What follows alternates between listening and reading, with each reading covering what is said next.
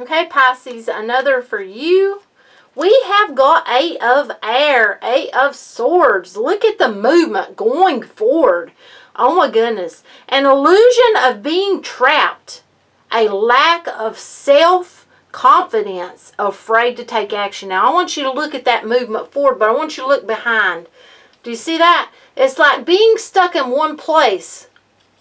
It's not moving forward. You need to look at what's keeping you bound and you need to let go of it because it's you doing it um, and move forward, move away from it. Don't allow anything to hold you back. Now, for someone, um, someone may be actually stuck somewhere, and they need to look at, at um, the illusions that have been in their life that have led them to being in this situation. Uh, that could be actually in jail or in uh, some sort of um, hospital or something. There's a need to look deep within and heal everything that needs to be healed.